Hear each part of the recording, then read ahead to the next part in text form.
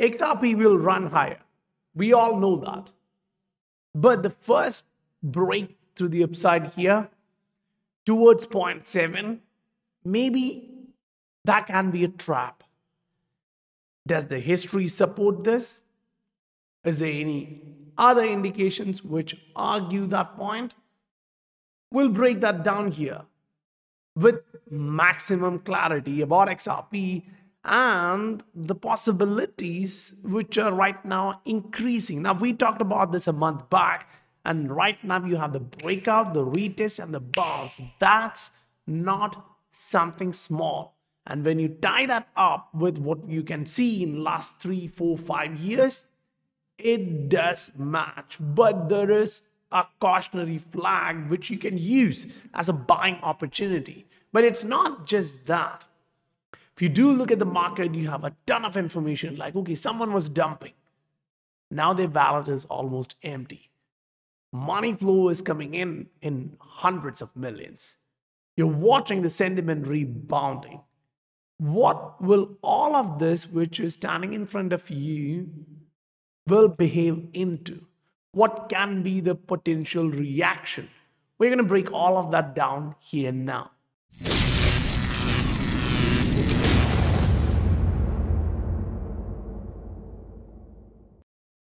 Welcome to the Scientific Investor family, where the normal retail guys get to learn how to become the next top 10% of this world.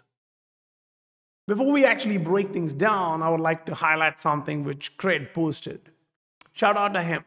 But if you remember, this is one of that thought process which I've been reiterating over the months. The first one for the weekly, we got that. Now, the possibility of the monthly is what we are all looking at. Some people say it's going to be 160, some people say it's going to be 170, some say it's going to be 100 or below. Now, it doesn't matter what you believe, the idea is the upside is there. Now, if you do understand this clearly, price drop in the recent days was mainly because of the selling pressure news, not just the selling itself, but the panic which was created by the news. So, right now, that news is easing and you can actually see the reality that they only have 280 million left. Now, it's not a small amount, but there is significant amount of money coming back into the market buying all of that which they are already selling. So this 250 million coming in to USDC is relevant because people are slowly moving out into USDC from USDT in different geographical parts of the world. Can be Europe, it can be Asia, but you get the point. They're slowly moving off from USDT, but US is reinforcing on USDT. But now, if you look at the sentiment, it kind of gives you the idea that after a few times, few weeks of going down, right now the volume is rebounding it's slowly going back up. This is positive news.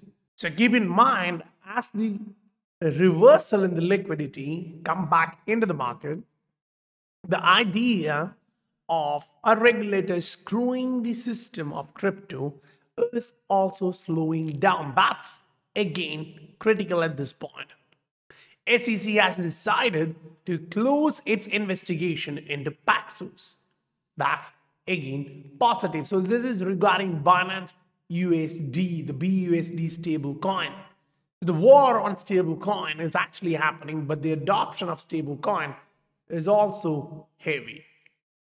Then you look at last 30 days, and this is what you see. The wallets, which is now with 10 plus coins from Bitcoin, is now increasing and look at the trend over last two weeks, last three weeks, last month, you can actually notice that there was a double bottom. It didn't reduce from there.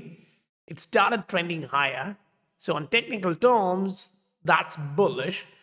Fundamental terms, that's again super bullish because now people believe the price is going to go higher from here and they are purchasing more. And it's not those people with maybe one Bitcoin or below, it's with 10 Bitcoin or above. So they are looking at significant amount of capital injection and holding, which kind of comes back into the key point, which we were discussing. The run up here should be the blow off the top. Dollar gives you an idea that it is breaking to the downside, which on a short term was true on the price action. Medium term, that means you're going to come back down to 102.44. That is cool, which will allow the markets to cool off. Right now, that dollar slowdown has actually given commodities like gold, silver, a push to the upside. They're now back at the resistance. We need to see if they break to the upside or not. Now jumping back into the Bitcoin side, then to the XRP. That's what matters in this video. You look at the MACD on a daily for Bitcoin, it's slowly starting to turn bullish. And we would like to see what this microstructure becoming a double bottom. And uh, not only that, a run up like this, at least this is what we want to see, which would actually, you know, look a little bit like this. But let's see if we have higher momentum. Because when you do look at a lot of these assets, say this is XLM, direct competitor, kind of for XRP, just one is wholesale, one is retail, but in the payment space, I mean, right? You're watching the RSI getting this low after a long period of time.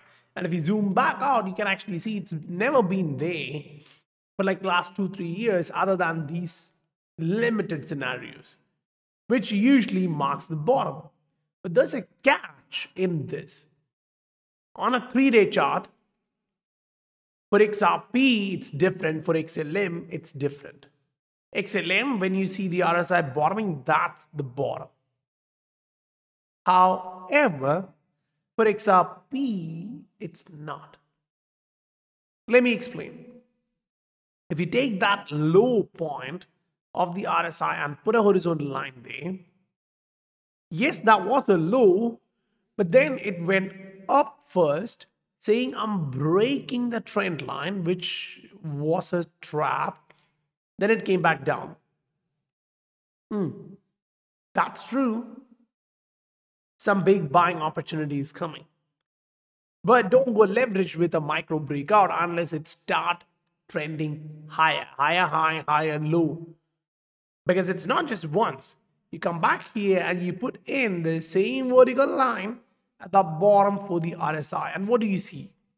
Here you didn't have a big bounce off for sure, but it tried to stay there and showed you I may bounce.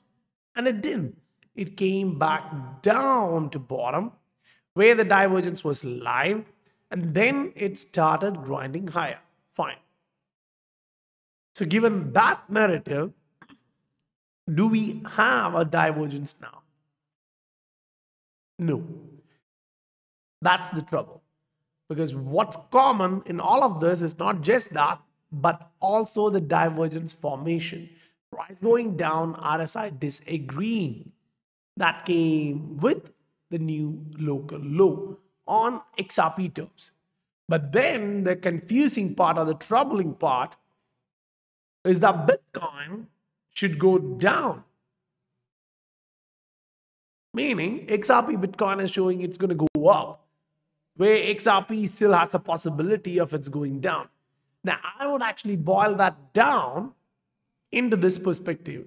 The current run up, which may be coming in XRP towards 0.7, if we don't break 0.75 to 0.78, that most likely is going to be a trap. Because if XRP is about to run high against Bitcoin, and Bitcoin in itself is not running up and it's slowing down, and XRP here shows a higher odds for this. Uh, we should be cautious. That's all I would actually argue. We should be heavily cautious because if you do look at the RSI, it conveys another story, which is yeah, we broke higher for sure, but then we came back down to retest that trend line. Yes, there is nothing wrong in a retest. But let's put that into perspective into the current trend line. A break here and a rally, then coming back down to the retest here, it would look almost similar to what we have seen. The difference with this trend line here without a bounce is you were trending sharply to the downside. Look at the trend of that angle, the trend angle here, compare with the last one and the current one. That kind of solves a lot of questions for us, giving the idea of guys, guys, there can be a bounce, but don't go levered. Spot buys, okay, man. They're not going to kill you. It's your asset. It's just going to be a price fluctuation. And whales have actually done that over and over and over again. And if you have been in the market for five, six, seven years, or at least three years, you have already seen volatility. So you don't really care about that. So when XRP shows all of the story, total altcoin market also recognize that. This is the bottom. Now, why am I saying recognize that? When I say XRP still has a possibility of run up, but before that, we may have a big chop. Because at the same time, these guys were highly correlated. Still, the low here was the low in the RSI and the price, same. No divergence, nothing. Agreed? That's good. So majority of assets on the other end may do that, whereas XRP is heavily manipulated, so it should do this. There is no other difference.